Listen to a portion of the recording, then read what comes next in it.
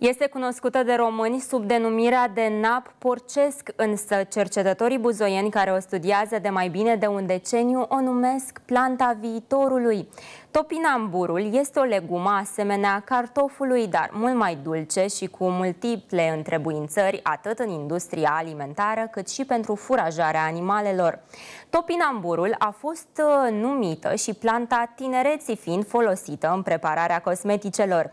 Este la fel de valoroasă și în industria energetică.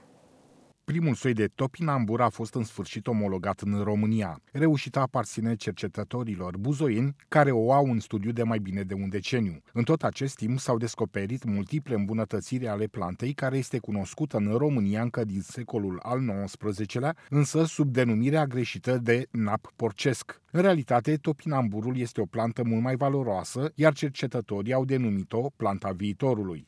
Eu am uh, botezat-o planta viitorului, pentru că rezistă foarte bine la condiții extreme de mediu. Rezistă de la minus 60 de grade până la plus 60 de grade. Face față acestor condiții uh, vitrige cu care noi ne confruntăm. Poate fi cultivată din Siberia și până în Africa. Noul soi a fost botezat Rarești și seamănă cu un cartof, dar mult mai dulce, fiind bogat în minerale necesare organismului. Uh, cartoful uh, este asemănător într-adevăr cu topinamburul, însă topinamburul conține mult mai multe elemente nutritive față de cartoful obișnuit. Uh, acesta are un conținut bogat în inulină, în primul rând, fiind un zahăr natural, sintetizat de către plantă. Are un conținut de fibre foarte mare, are toți nutrienții benefici organismului uman, aminoacizi esențiali, calciu, fier, potasiu, magneziu, de la această plantă pot fi consumate atât tuberculul în industria alimentară, cât și frunzele în furajarea animalelor și chiar florile în industria cosmetică. Mai este numită și planta tinereții, cea care menține tinerețea.